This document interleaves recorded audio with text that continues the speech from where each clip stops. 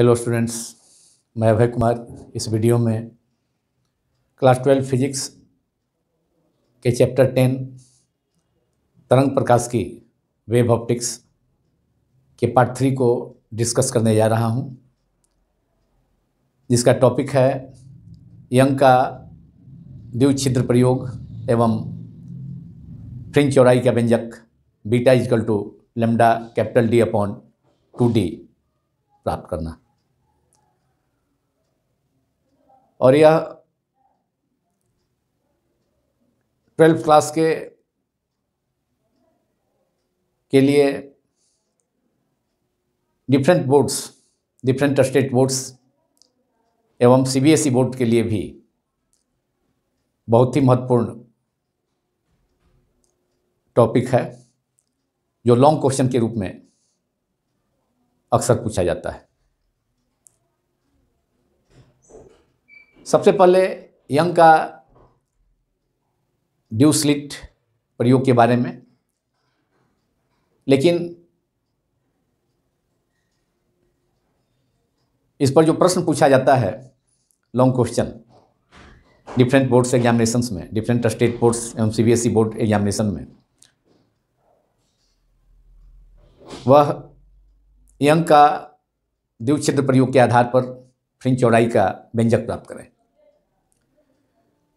तो इसमें मेन जो ऑब्जेक्टिव है, हमारा वह फ्रिंज चौड़ाई का व्यंजक प्राप्त करना beta equal to lambda by D by two D लेकिन यह व्यंजक यंग का द्विछिद्र प्रयोग के द्वारा ही प्राप्त किया जा सकता है, उसकी प्रायोगिक व्यवस्था के द्वारा। यंग ने 1801 ईस्वी में हाइगन का द्वितीय तरंग का सिद्धांत को आधार मानकर व्यतिकरण की घटना का सफल व्याख्या किया तथा प्रकाश के तरंग सिद्धांत की पुष्टि की। यंग का द्विक्षेत्र प्रयोग प्रकाश के तरंग सिद्धांत की पुष्टि करता है। यंग की प्रायोगिक व्यवस्था को चित्र एक में दर्शाया गया है यहाँ, जिसमें कि एल एक पर्दा है, जिसमें एक पिन होल है, एक चित्र है, रेखा चित्र एस, जिसको एक वर्णी प्रकाश स्रोत के द्वारा प्रकाशित किया जाता है। एक वर्णी प्रकाश स्रोत जैसे सोडियम वाइपर लैंप, एक वर्णी प्रकाश स्रोत है, उसके द्वारा इस रेखा चित्र एस, पर्दा एल में बने चित्र को, एस को प्रकाशित किया जाता है, एक वर्णी प्रकाश स्रोत से। और इससे उत्पन्न जो तरंगिकाएँ होंगी, ये प्राथमिक स्रोत है। तो प्राथमिक तरंगिकाएँ इससे उत्पन्न होकर के आगे बढ़ेंगी इथर माध्यम में। और यहाँ पर जो ठोस वक्र है, सॉलिड कर्व, ये तरंग के शीर्ष को बतलाता है, क्रेस्ट को बतलाता है। जबकि यहाँ पर जो डॉटेड सर्किल है, डॉटेड सर्किल है या डॉटेड स्फेयर है, वह बिंदुवत जो वक्र है, ये बिंदुवत वक्र है डॉटेड। यह तरंग के गर्द को, क्रेस्ट को बतलाता है। तरंगिका के वेवलेट्स के क्रेस्ट को बतलाता है, डॉटेड कर्व और सॉलिड कर्व रिप्रेजेंट करता है वेवलेट्स के, तरंगिका के क्रेस्ट को, शीर्ष को। शीर्ष का मतलब ऊपरी भाग तरंग का और गर्द का मतलब उसका निचला भाग, ट्रॉ, उसको अंग्रेज़ी में ट्रॉ कहा जाता है। तो जब रेखा चित्र को प्रकाश, एक बड़ी प्रकाश स्रोत से प्रकाशित किया जाता है। तो इससे उत्पन्न तरंगाग्र आगे बढ़ता है। वह तरंगाग्र बेलनाकार होगा। रेखा चित्र से बेलनाकार तरंगाग्र उत्पन्न होता है। लेकिन उसका जो सेक्शन होगा, काट होगा, वह स्फेरिकल होगा, गोलाकार होगा। इसलिए यहाँ गोलाकार, गोलीय रूप में दिखाया गया है तरंगाग्र को। और यह तरंगाग्र जब एस से कुछ दूरी पर स्थित एक अन्य पर्दा एम एक अन्य पर्दा है, दूसरा पर्दा, कैपिटल एम है, और उसमें दो छिद्र बने हैं एस वन एस टू जो कि रेखा छिद्रेश जो पर्दा एल में बना हुआ रेखा छिद्रेश है, उससे समान दूरी पर होगा एस वन तथा एस टू जब तरंगाग्र एस से उत्पन्न तरंगाग्र बेलनाकार तरंगाग्र, जब एस वन एस टू पर आपतित होगा जाकर के, इथर माध्यम में आगे गमन कर तो एस वन और एस टू द्वितीय स्रोत के समान, जैसा व्यवहार करेंगे। हाइगन का द्वितीय तरंग का सिद्धांत के अनुसार, जो कि मैंने पिछले पार्ट में डिस्कस किया था। तो एस वन और एस टू दोनों जब तरंगाग्र जाकर आपतित होता है एस से उत्पन्न तरंगाग्र, बेलनाकार तरंगाग्र, जब पर्दायम में बने हुए दो क्षेत्र जो एस से समान दूरी पर होते हैं एस वन एस टू उस पर आपतित होता है। तो तरंगाग्र का पर स्थित प्रत्येक बिंदु, जो कि हाइगन का द्वितीय तरंग का सिद्धांत से द्वितीय स्रोत का कार्य करता है, इसलिए एस वन तथा एस टू भी अब तरंगाग्र पर स्थित होगा क्योंकि यहाँ से एस से उत्पन्न, रेखाचित्र देश से उत्पन्न तरंगाग्र आगे गमन करके माध्यम में, इतर माध्यम में आगे गमन करके एस वन एस टू पर जाकर आपतित हुआ है दोनों रेखा चित्रों पर, जो कि पर्दा एम में बने बने हुए हैं। तो एस वन एस टू भी द्वितीय स्रोत का कार्य करेंगे और इनसे भी अब द्वितीय तरंगिकाएँ उत्पन्न होंगी।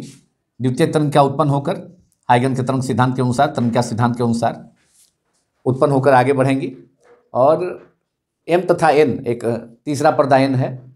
इसके बीच के क्षेत्र में प्रकाश तरंगिकाएँ आपस में अध्यारोपित होंगी, क्योंकि एस वन एस टू दोनों एक ही स्रोत एस से, रेखा क्षेत्र एस से उत्पन्न हुआ है। एक ही स्रोत एस से उत्पन्न दोनों एस वन एस टू दो अन्य स्रोत हैं। तो इसलिए एस वन तथा एस टू दोनों कला संबद्ध स्रोत के समान कार्य करेंगे। और वैसी स्थिति में ये दोनों कला संबद्ध स्रोत से उत्पन्न तरंगिकाएँ जब माध्यम में अध्यारोपित होती हैं समान कलाओं में और विपरीत कलाओं में। तो उसके कारण पर्दायन पर पर्दायन पर एकांतर क्रम में चमकीली एवं काली धारियाँ, चमकीली एवं काली फ्रिंजें जिसको धारियों को अंग्रेज़ी में फ्रिंज कहा जाता है, फ्रिंजेज, या लकीरें, चमकीली एवं काली लकीरें एकांतर क्रम में पाई जाती हैं। रचनात्मक व्यतिकरण के कारण चमकीली धारी, ब्राइट फ्रिंज तथा विनाशी व्यतिकरण के कारण डार्क फ्रिंज पर्दा के विभिन्न बिंदुओं पर दिखलाई देगा। लेकिन पर्दा का जो एन पर्दा है, तीसरा पर्दा थर्ड स्क्रीन उसके ओ बिंदु पर विचार किया जाए, जो कि सेंटर है उसका। ओ बिंदु पर दोनों कला संबद्ध स्रोतों, दोनों रेखा चित्रों S one M S two अर्थात दोनों कला संबद्ध स्रोत, जो कि एक ही स्रोत एस से उत्पन्न हुई हैं। तो इनसे उत्पन्न प्रकाश तरंगें ओ बिंदु पर, चूँकि एस वन से ओ की दूरी और एस टू से दूसरे रेखा चित्र या दूसरे आभासी स्रोत, कला संबद्ध स्रोत एस से ओ की दूरी समान होगी। इसलिए एस वन तथा एस टू से उत्पन्न द्वितीय तरंगिकाएँ पर्दायन के, तीसरा तीसरा पर्दायन के मध्य बिंदु ओ पर सेंटर ओ पर समान कला में अध्यारोपित होंगी और उसके कारण पर्दायन का मध्य बिंदु ओ मिड पॉइंट ओ पर समान कला में अध्यारोपित होने से रचनात्मक व्यतीकरण होगा और ओ बिंदु हमेशा ओ बिंदु हमेशा ओ बिंदु पर हमेशा दीप फ्रिंज चमकीली धारी दीप्त फ्रिंज प्राप्त होगी। तो वो बिंदु सेंटर ऑफ़ ब्राइटनेस होगा। माने वो बिंदु पर चमकीली फ्रिंज चमकीली धारी उपस्थित होगी।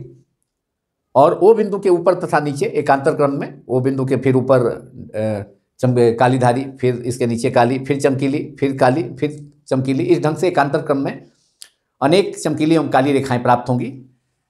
पर्दायन पर, जिसे जिसे व्यतिकरण प्रतिरूप इंटरफेरेंस पैटर्न कहा जाता है।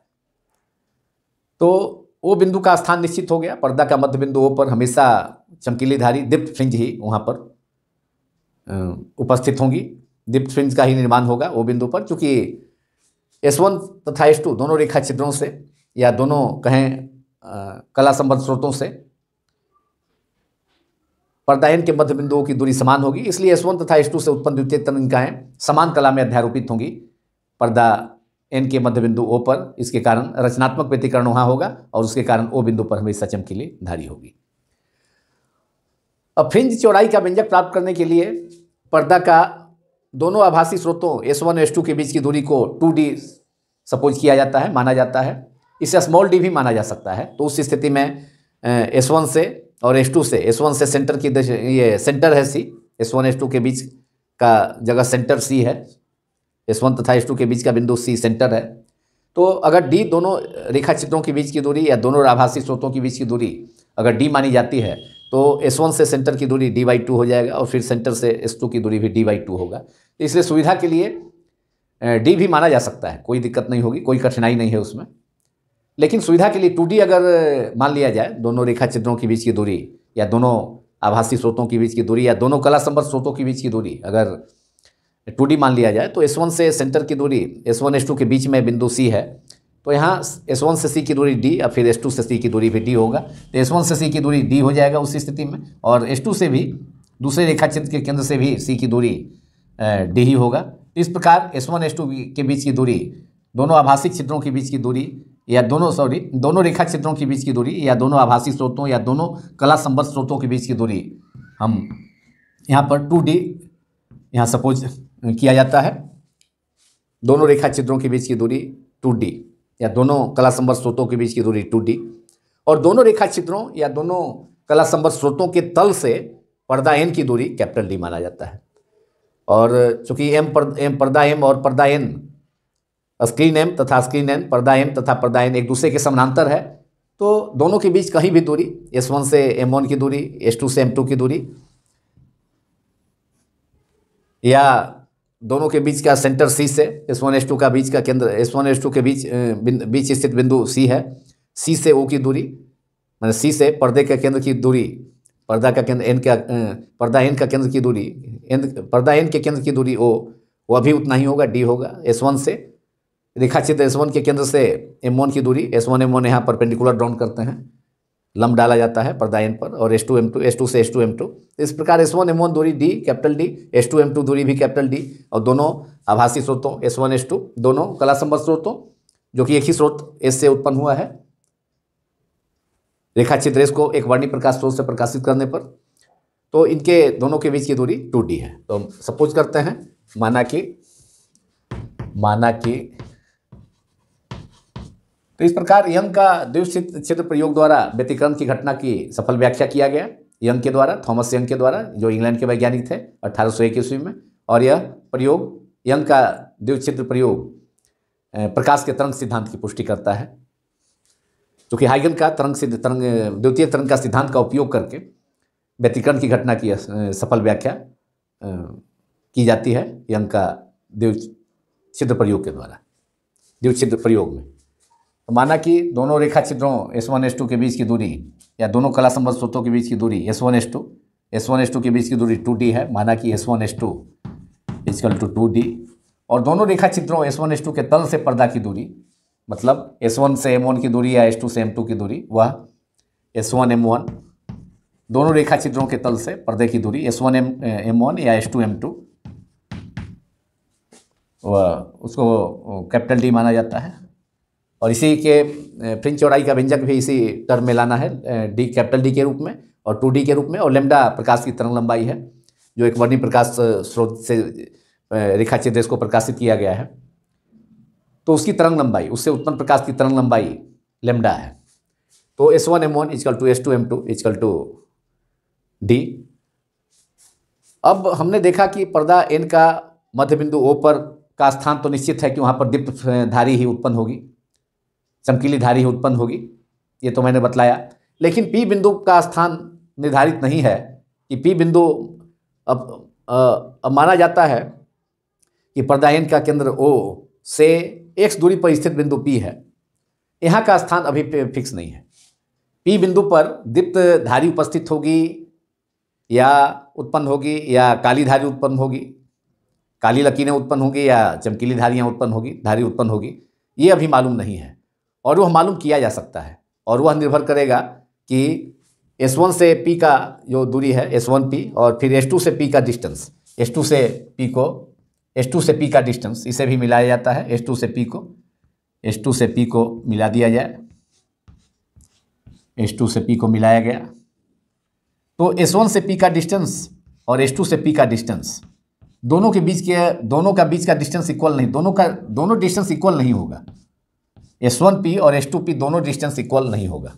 इसलिए नहीं होगा कि S one distance S one P point S one जो रेखा चित्र एस वन है, उसके क्लोज है, ज़्यादा निकट है, जबकि एस टू जो रेखा क्षेत्र है, दूसरा रेखा चित्र एस टू यह एस वन के नीचे है और पी से अधिक दूरी पर है।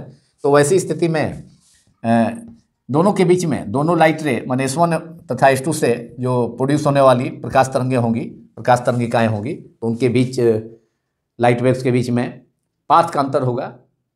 पठांतर होगा और वह पठांतर निकाला जा सकता है। अब एस वन से यहाँ पर हम नॉर्मल ड्रॉन कर देंगे। एस वन से अगर हम नॉर्मल ड्रॉन कर दें यहाँ एस वन से नॉर्मल हम ड्रॉन कर दें यहाँ पर।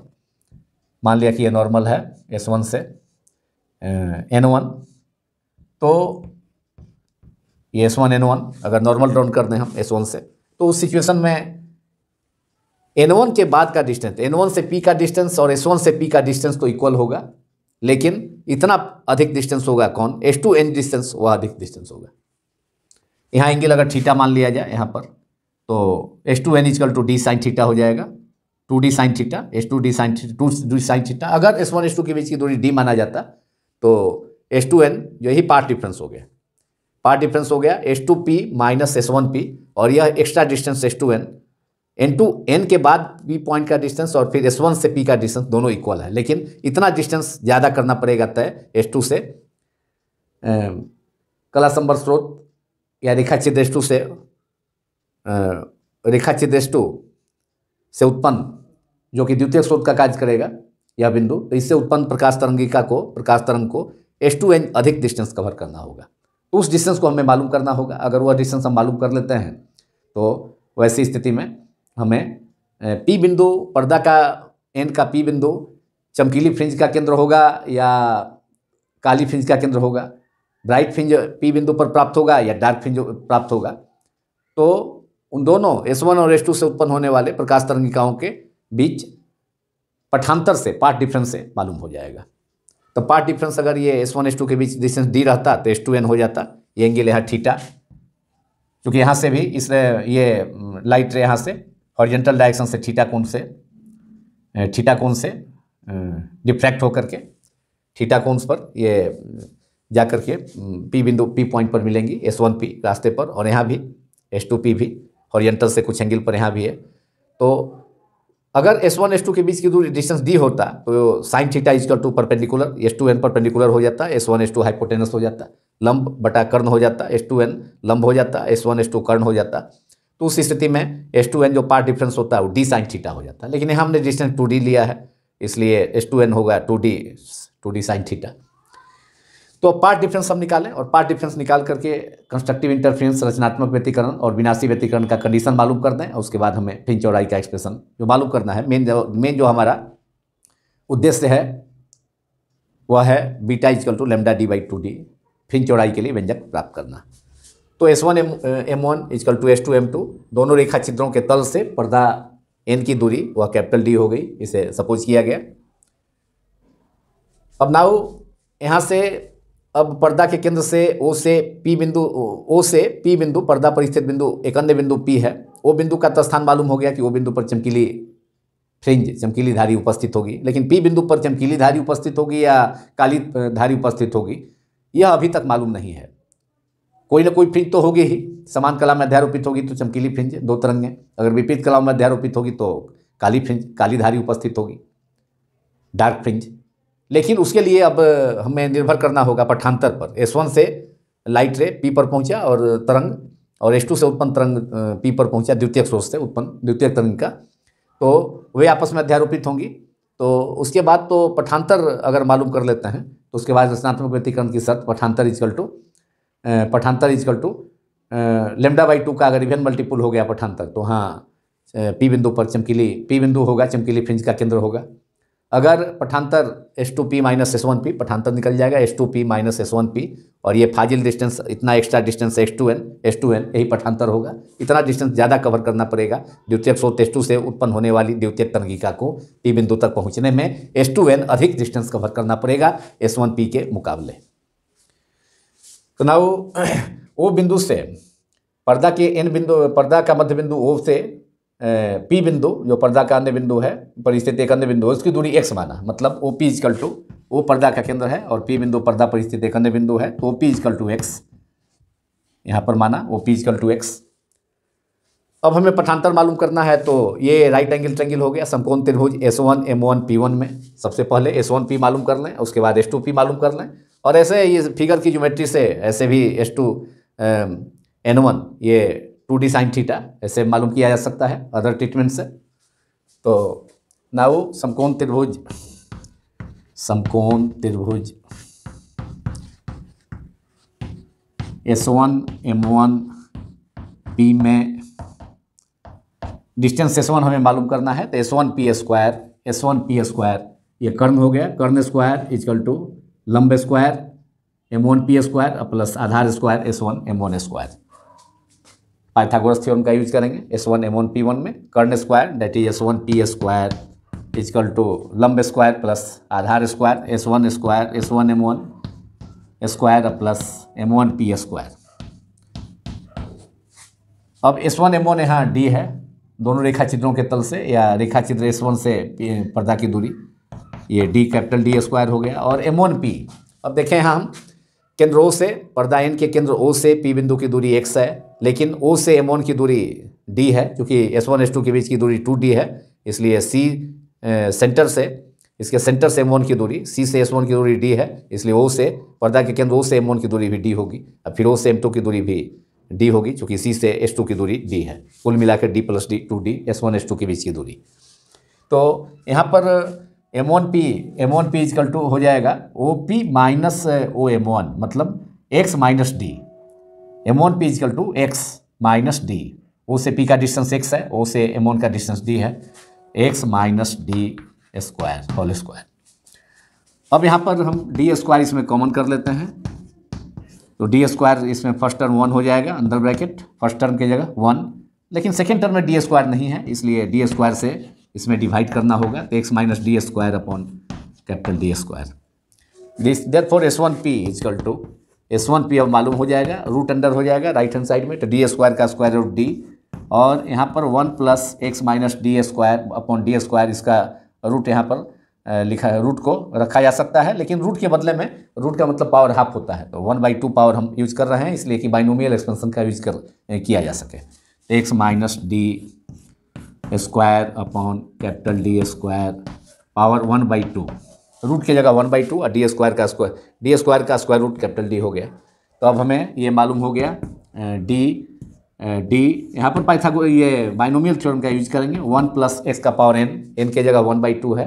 वन बाई टू का मतलब root square root one by two यहाँ मल्टीप्लाई हो जाएगा इस term X minus D square upon D square के पहले। तो वन बाई टू से यहाँ एक्स की जगह यह टर्म है X minus D square upon D square तो one by two multiplied by X minus X minus D square D square upon capital D square तो ये एस वन पी मालूम हो गया।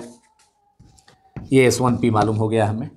This is equation number one अब इसी ढंग से एस टू से पी की दूरी रेखा चित्र एस टू के केंद्र से, जो कि द्वितीय स्रोत का कार्य करेगा, उससे पी बिंदु की दूरी। अब एस टू से उत्पन्न होने वाली तरंग पी बिंदु पी बिंदु पर पहुँची तो दूरी तय किया एस टू पी ये मालूम कर लें और पार्ट डिफरेंस हो जाएगा यही जो कि एस टू पी डिस्टेंस ज़्यादा है S two P minus S one P और जो कि वह पार्ट डिफरेंस इतना X two N S two N के बराबर एक्स्ट्रा डिस्टेंस कवर करना पड़ेगा।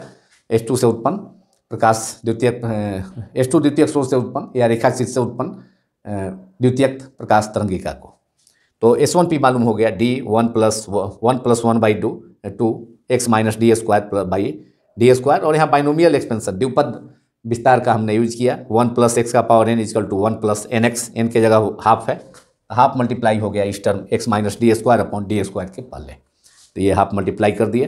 तो one plus one D under bracket. D bracket के बाहर है under bracket one plus one by two X minus D square upon D square और इसी ढंग से अब राइट एंगल ट्रेंगल हम S two M two P का अगर यूज़ करें तो S two P square Pythagoras theorem फिर यूज़ करते हैं। S two P square Karna square is equal to M two P square लंब स्क्वायर प्लस आधार square S two M two square तो इससे हम अब, लेकिन यहाँ पर जो डिस्टेंस है M two P M two P distance हो गया अब एक्स प्लस डी सेंटर से चूँकि पी का डिस्टेंस एक्स था जहाँ पर जहाँ पर चमकीली या काली फिंज का निर्माण होना है। पी बिंदु पर व्यतिकरण की घटना को देखना है तो एम टू से पी का डिस्टेंस एक्स प्लस डी हो जाएगा। मतलब एक्स ओ से पी का डिस्टेंस ओ से एम टू का डिस्टेंस डी तो ये रिज़ल्ट हो जाएगा। S two P is equal to इसी ढंग से D one plus one by two into X plus D हो जाएगा। X plus D M two P distance तो X plus D square by D capital D square बाकी term वही होगा। केवल यहाँ पर एक्स प्लस डी हो जाएगा। अब उसके बाद S two P minus S one P का डिफरेंस निकाल लेंगे तो पठांतर मालूम हो जाएगा पार्ट डिफरेंस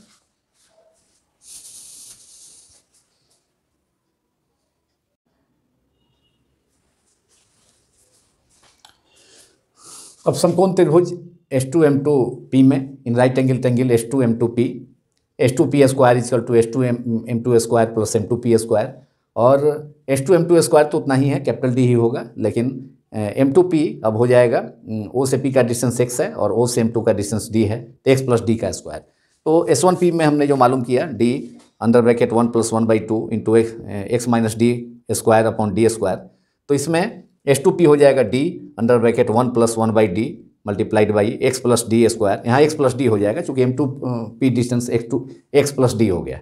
ओ से पी का distance O P plus O M to that is X plus D तो इसी प्रकार अब हम राइट एंगल ट्रेंगल समकोण त्रिभुज S two M two P में समकोण त्रिभुज, अब समकोण त्रिभुज एस टू इसी प्रकार से समकोण त्रिभुज समकोण त्रिभुज S two S two M two P S two M two P S two M two P में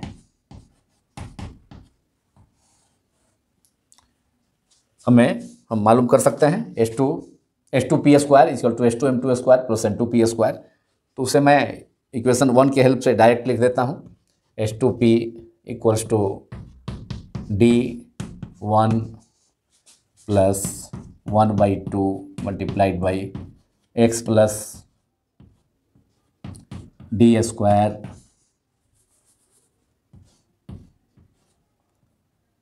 upon capital D square. S two P भी मालूम हो गया। अब इक्वेशन नंबर टू मान लेते हैं। अब दोनों तरंगों एस वन और एस टू से उत्पन्न होने वाले द्वितीय तरंगिकाओं के बीच का पठांतर तो चूँकि एस टू पी डिस्टेंस ज़्यादा है तो S two P minus S two P minus S one P हमें करना होगा S two P minus S one P तो नाउ पठांतर, दोनों तरंगों के बीच में, दोनों द्वितीय तरंगिकाओं के बीच में एस वन तथा एस टू द्वितीय स्रोतों या दो कला संबद्ध स्रोतों एस वन एवं एस टू से उत्पन्न प्रकाश तरंगिकाओं के बीच में पठांतर। तो पठांतर हो जाएगा, पठांतर डेल्टा। दोनों प्रकाश तरंगिकाओं के बीच में पठांतर, जिसको डेल्टा, एक ग्रीक लेटर है, डेल्टा ग्रीक संकेत डेल्टा है, यूनानी संकेत है, delta is equal to पठांतर S two P minus S one P अब दोनों का डिफरेंस ले लिया जाएगा एस टू पी भी मालूम है D one plus one plus one by two S two P distance ज़्यादा है तो इसको पहले लिखेंगे। X plus D square upon capital D square minus S one P is here और डी इसमें भी है तो डी को कॉमन सीधे कर देते हैं, बाहर दोनों में कॉमन हो जाएगा S S two P minus S one P में भी। तो वन और चूँकि आगे माइनस है यहाँ ब्रैकेट तो ये भी माइनस हो जाएगा। आगे चूँकि माइनस है S two P minus S one P तो माइनस डी चूँकि कॉमन ले चुके हैं बाहर में, दोनों टर्म में है, दोनों एस टू पी और एस वन पी में भी। तो आगे माइनस है तो यहाँ पर प्लस टर्म है तो प्लस माइनस माइनस हो जाएगा। तो one by two into X minus D square upon capital D square. यहाँ से plus one, minus one cancel हो गया। One by two D square, यहाँ भी one by two D two D square, minus, बीच में माइनस टर्म है। तो therefore delta पठानतर S two P minus S one P जो कि डेल्टा है S two P minus S one P जो कि पठानतर डेल्टा है, is equal to capital D upon two D square बाहर कर लेते हैं डिनोमिनेटर से। दोनों टर्म में है टू डी स्क्वायर बाहर कर लिया गया तो इसमें बचा X plus D square minus X plus D square minus X minus capital D square. D से डी स्क्वायर कैंसिल हो गया। ये बचा one by two D, X plus D square that X square plus two X D plus D square, और ये भी फिर X square plus two X D, A plus B का होल स्क्वायर के फॉर्म में है, प्लस डी स्क्वायर माइनस, ये होगा X square minus two A B, two X D, A two A B होता है तो टू ए की जगह एक्स है, बी की जगह डी है, माइनस टू एक्स डी, लेकिन आगे में माइनस है, इसलिए यहाँ पर प्लस हो जाएगा टू एक्स डी। और बीच में प्लस डी स्क्वायर होता है, प्लस बी स्क्वायर तो बी की जगह डी है, लेकिन आगे में माइनस है तो minus D square, minus D square, plus D square, minus D square cancel, plus X square, minus X square cancel.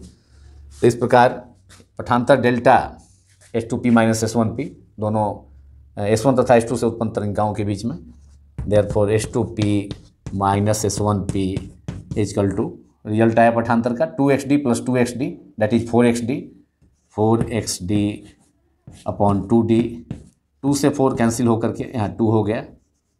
यहाँ पर two that is two X D by D. यही पठानतर के लिए एक्सप्रेशन आया, two X D, S two P minus S one P is equal to delta delta is equal to two X D by D this is equation number two अब इसी पठांतर पर निर्भर करेगा रचनात्मक व्यतीकरण या विनाशी व्यतीकरण। रचनात्मक व्यतीकरण होगा पी बिंदु पर तरणिकाएँ एस वन एस टू से उत्पन्न प्रकाश तरणिकाएँ समान कला में अध्यारोपित होंगी तो पी बिंदु चमकीला पी बिंदु पर चमकीली धारी या चमकीली फ्रिंज दिखलाई देगी। लेकिन एस वन एस टू से उत्पन्न प्रकाश तरणिकाएँ अगर पी बिंदु पर विपरीत कलाओं में अध्यारोपित होंगी तो पी बिंदु पर काली फ्रिंज, काली धारी उपस्थित होगी। अदीप्त, जिसे अदीप्त फ्रिंज भी कहा जा सकता है और चमकीली धारी को धारी को दीप्त फ्रिंज भी कहा जाता है। दीप्त धारी या दीप्त फ्रिंज। फ्रिंज अंग्रेज़ी शब्द, वर्ड है। तो इस प्रकार हमें पठांतर मालूम हो गया S one D two X D upon two X D upon capital D अब रचनात्मक व्यतीकरण के लिए मतलब पी बिंदु पर रचनात्मक व्यतीकरण हो या चमकीली धारी प्राप्त हो तो उसके लिए पठांतर का वैल्यू एन का पूर्णांक गुणज होना चाहिए लेमडा लेमडा का पूर्णांक गुणज दैट इज़ एन लेमडा होना चाहिए नहीं तो लेमडा बाई टू का समगुणज lambda by two into wavelength lambda जो है प्रकाश की तरंग लंबाई है, एक वर्णी प्रकाश स्रोत जो यूज़ हुआ है यंग का क्षेत्र प्रयोग में तो उसकी तरंग लंबाई है। तो रचनात्मक व्यतीकरण के लिए पी बिंदु पर चमकीली फ्रिंज के लिए तो पी बिंदु पर फ्रिंज चौड़ाई हमें मालूम करना है तो अब पी बिंदु पर फ़र्स्ट सिचुएशन होगा पी बिंदु पर पी बिंदु पर चमकीली धारी या चमकीली फ्रिंज। चमकीली धारी चमकीली धारी या फ्रिंज, चमकीली फ्रिंज प्राप्त करने के लिए या चमकीले फ्रिंज प्राप्त करने के लिए फ्रिंज, मीन्स धारी, लकीरें प्राप्त करने के लिए, चमकीले फ्रिंज के लिए यहाँ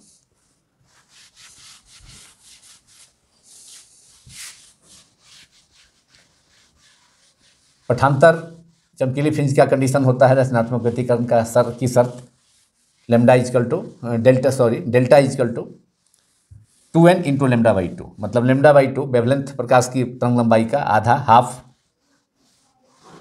तरंग लंबाई का हाफ़ का, आधा का पूर्ण गुणज थी सम गुणज होना चाहिए, तब जा करके पी बिंदु पर रचनात्मक व्यतीकरण होगा। पी बिंदु पर चमकीली धारी उपस्थित होंगी, प्रकाश तरंगे समान कलाओं में अध्यारोपित होंगी, दोनों प्रकाश स्रोतों से उत्पन्न। तो पी बिंदु पर चमकीली धारी या चमकीली फ्रिंज चमकीले फ्रिंज के लिए हमारा कंडीशन है पठानतर रचनात्मक व्यतीकरण की शर्त। अर्थात रचनात्मक व्यक्ति कंस्ट्रक्टिव इंटरफेरेंस की condition पठानतर S two P minus S one P that is delta is equal to delta is equal to two N into lambda by two प्रकाश की तरंग लंबाई का आधा लेमडा बाई टू और उसका टू एन से multiply करने पर सम संख्या मिलेगी, सम गुणज होगा। यहाँ इनका मान वन टू थ्री ऐसे हो सकता है। तो डेल्टा इजकल टू इतना, two N into lambda by two, ये रचनात्मक व्यतीकरण की शर्त है। पर्दा के पर्दा के पी बिंदु पर चमकीली धारी या चमकीली फ्रिंज प्राप्त करने की शर्त हो गया। Delta is equal to two N into lambda by two, और डेल्टा का वैल्यू यहाँ पर आया है two X D upon two X D upon capital D is equal to two N lambda by two. यहाँ S two P minus S one P is equal to delta है। Now delta is equal to two X, delta is equal to two X D upon capital D in equation one. X D upon capital D equal to two n plus two n into lambda by two D is n lambda simply इसको n lambda लिखा जा सकता है। Two two cancel हो जाएगा lambda therefore x x का मतलब है यहाँ चमकीली फ्रिंज के लिए है। तो मतलब सेंटर से एक्स जो है सेंटर तक का पोजीशन तो चमकीली फ्रिंज था। वो बिंदु पर तो चमकीली फ्रिंज था क्योंकि एस वन एस टू से उत्पन्न प्रकाश तरंगें, तरंगिकाएँ, द्वितीय तरंगिकाएँ ओ बिंदु पर। पर्दे के केंद्र ओ पर समान कला में अध्यारोपित होती थी, इसलिए पी बिंदु पर, ओ बिंदु पर चमकीली धारी प्राप्त होगी। तो अब उसी केंद्र से, ओ बिंदु से, पर्दा के केंद्र, ओ बिंदु से पी बिंदु चमकीली धारी का केंद्र होगा, चमकीली धारी वहाँ उत्पन्न होगी रचनात्मक व्यतीकरण होगा तो वहाँ से, केंद्र से कोई पी बिंदु, एनवे चमकीले फिंच की दूरी, एनवे चमकीले धारी की दूरी तो उसके लिए एक्स एन केंद्र से ओ से चम एनवे चमकीले फ्रिंज की दूरी के लिए एक्स एन लिखेंगे x equal to x n x equals to यहाँ से एक्स को इलिमिनेट करेंगे x n x equal to n lambda n lambda D upon two D two D this is equation number three अब हमको fringe चौड़ाई मालूम करना है। फ्रिंज चौड़ाई फ्रिंज विर्थ फ्रिंज विर्थ क्या है? दो लगातार चमकीले या दो लगातार काले फ्रिंजों के बीच की दूरी, दो लगातार दीप्त या दो लगातार अदीप्त धारियों के बीच की दूरी को फ्रिंज चौड़ाई कहा जाता है, फ्रिंज विर्थ कहा जाता है। तो यहाँ पर अगला फ्रिंज चौड़ाई प्राप्त करने के लिए केंद्र से एनवा चमकीले फ्रिंज के बीच की दूरी, एनवे चमकीले फ्रिंज की दूरी तो मालूम हो गया। लेकिन अब उसके आगे एक एन प्लस वनवा अगर मालूम कर लेते हैं और दोनों का डिफरेंस ले लें एक्स एन प्लस वन केंद्र सेंटर से ही और फिर उसके पहले वाला एक एक्स एन तो दोनों का अंतर से, दोनों का जो अंतर होगा, वह चमकीले फिंच के लिए फिंच चौड़ाई होगा और उसी का व्यंजक हमें ऑप्टेन भी करना है। चमकीले या दो लगातार काले चमकीले फिंजों की दूरी, केवल पठांतर में अंतर हो जाएगा कंडीशन का, बाकी सब कुछ वही है। तो x equal to x n का मतलब है पर्दे के केंद्र से एनवे चमकीले फ्रिंज के बीच की दूरी n lambda D by n lambda capital D by two D अब हमें मालूम करते हैं x n O n plus one मतलब पर्दा के केंद्र से उसे उसके अगला एनवा जो है, मान लिया कि एनवा अगर टेंथ है एन इजकल टू टेन है तो एन प्लस वन एलेवेंथ हो जाएगा। तो एलेवेंथ फ्रिंज के बीच की दूरी कितनी होगी, वो हमको मालूम कर सकते हैं। मैंने एग्ज़ाम्पल के तौर पर तो x n plus one equal to n की जगह यहाँ पर वन एन प्लस वन कर देंगे। Lambda D upon two D and this is equation number four अब हमको फ्रिंज चौड़ाई मालूम हो गया। होने जा रहा है यहाँ। चमकीले फिंच के लिए फ्रिंज चौड़ाई बीटा इजकल टू सिम्बॉल चमकीले फ्रिंज चौड़ाई का बीटा या कैपिटल एक्स ऊपर बार होता है। कैपिटल एक्स ओवर बार तो यहाँ फ्रिंज चौड़ाई हो गई। एक्स एन प्लस वन माने केंद्र से एनवे चमकीले फिंच की दूरी। के लिए एक्स एनवे चमकीले फ्रिंज की दूरी एक्स एन है तीन में, और उसके आगे का एक ज़्यादा, एक अधिक चमकीले फ्रिंज की दूरी, वो एक्स एन प्लस वन है। तो दोनों के बीच का जो अंतर होगा x n plus one minus x n वो फ्रिंज चौड़ाई हो गया बीटा से डिनोट करेंगे। तो x n plus one minus x n equal to ये बीटा हो जाएगा फ्रिंज चौड़ाई, और एन प्लस वन है n n plus one n plus one lambda D upon two D minus x n equal to n lambda n lambda D by two D तो ये मालूम हो गया एक्स एन प्लस अब ये क्या हो गया? चमकीले फ्रिंज के लिए, दो लगातार चमकीले फ्रिंज के बीच की दूरी हो गया। तो एक सेंटर से पर्दा एन के केंद्र से सेंटर से एनवे चमकीले फ्रिंज की दूरी एक्स एन है, और उसके एक आगे का एक्स एन प्लस वन तो दोनों के बीच का अंतर यही x n plus one minus x n यही फ्रिंज चौड़ाई का व्यंजक होगा, जो कि चमकीले फ्रिंजों के लिए होगा। और उसी ढंग से हम काले फ्रिंजों के लिए भी फ्रिंज चौड़ाई प्राप्त कर सकते हैं। केवल कंडीशन में थोड़ा अंतर होगा। यहाँ पठांतर हो जाएगा। Two x D by D capital D equal to two n plus one lambda by two का समगुनज होगा या विसमगुनज होगा। टू एन में एक से जोड़ दे, एक ऐड कर देंगे या एक घटा लेंगे माइनस कर देंगे तो दोनों स्थितियों में विषम गुणज हो जाएगा वो। तो लेमडा बाई टू का odd multiple two n plus one और टू एन माइनस वन लेना होगा। अब एक्स माइ n plus one minus x n अब फिन चौड़ाई हो गया। दो लगातार चमकीले फिंजों के लिए फिन चौड़ाई हो गया। X n plus one minus n इसको फिन चौड़ाई लिखेंगे हम। चमकीले फिंजों के लिए फिन चौड़ाई बीटा, चमकीले फिंजों के लिए हो गया, बीटा इजकल टू। अब दोनों का difference n lambda D by two D common हो गया तो lambda D by two D common तो ब्रैकेट में बचेगा एन प्लस वन और माइनस एन तो एन से एन कैंसिल हो गया तो केवल lambda D by D two D lambda D upon two D और यही व्यंजक हो गया फ्रिंज चौड़ाई के लिए, चमकीले फ्रिंजों के लिए। फ्रिंज चौड़ाई का व्यंजक हो गया, ये इक्वेशन नंबर फाइव यही मालूम करना था हमें बीटा इजकल टू बोर्ड पर ऊपर में लिखा है।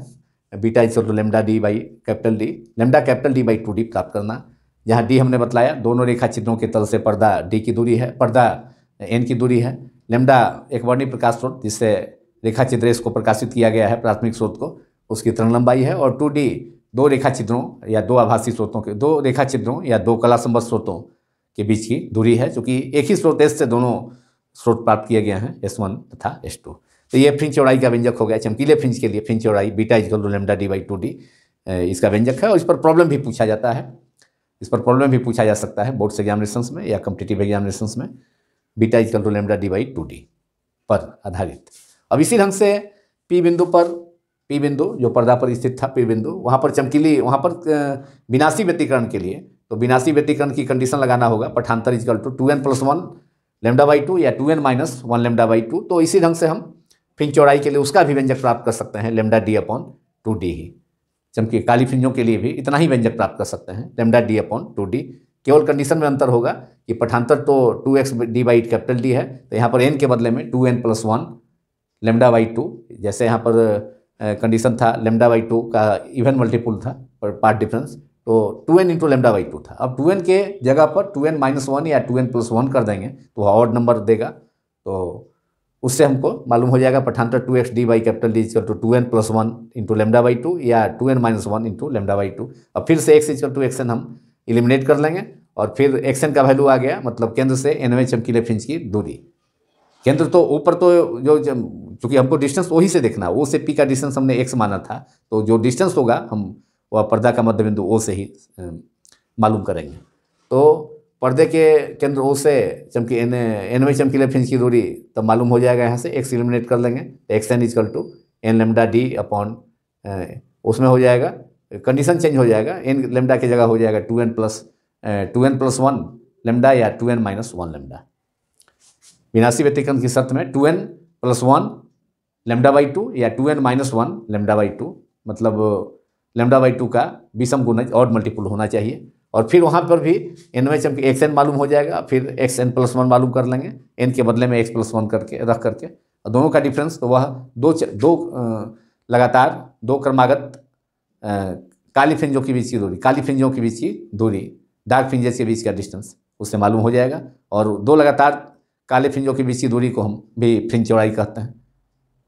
काली फ्रिंज के लिए फ्रिंज चौड़ाई हो जाएगा तो वहाँ भी सेम एक्सप्रेशन आएगा उस केस में भी विनाशी व्यतिकरण के लिए। तो विनाशी व्यतिकरण होगा तो पी बिंदु का स्थान जो होगा, वहाँ पर वहाँ पर पी बिंदु पर काली धारियाँ, काली धारी दिखलाई देगी।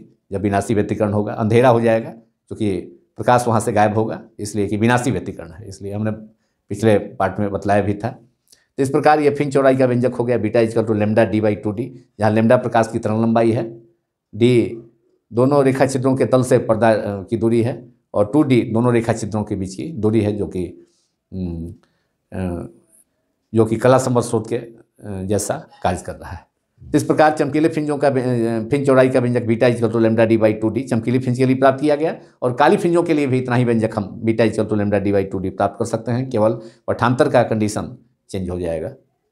और इसी के साथ ये टॉपिक जैसा समाप्त करने के समय में भी कह रहा हूँ कि ये विभिन्न स्टेट बोर्ड्स एग्जामिनेशंस एग्जामिनेशंस या पूरे देश में या C B S E board examination, किसी भी एग्जामिनेशन के लिए इंपॉर्टेंट है। इसे पूछा जा सकता है। लॉन्ग क्वेश्चन में अक्सर इसे पूछा जाता है। तो थैंक यू वेरी मच